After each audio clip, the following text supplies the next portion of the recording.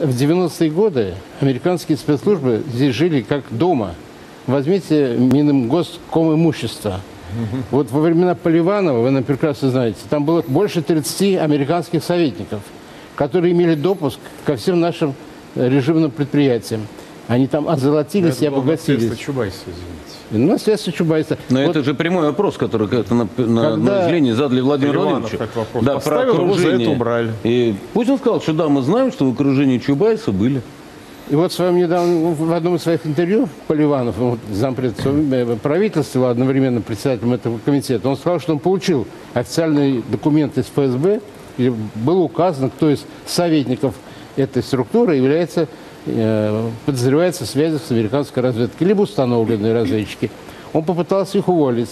Через 70 дней уволили самого Поливанова. Вот результат того, что было. Владимир Михайлович, вы же генералом были? Ну да. Так а тогда кого спрашивать? Не, Владимир Михайлович, я, вы меня простите, я все понимаю, но когда мы говорим о том, что такая ситуация, у меня возникают э, простые вопросы. А чего мы ждем?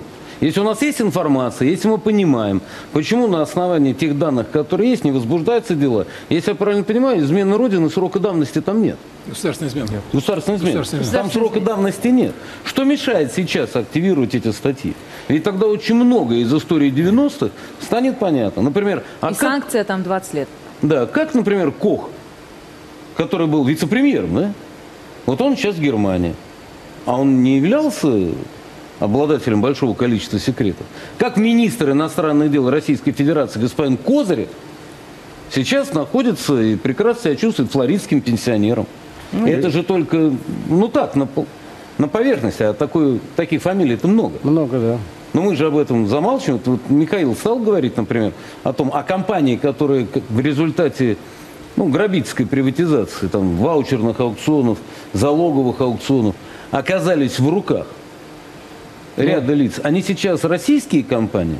Или они типа называются российские, а де-факто находятся под полным управлением неизвестно кого? Может быть, надо рассмотреть вопрос, а, ну, скажем так, об обратной приватизации?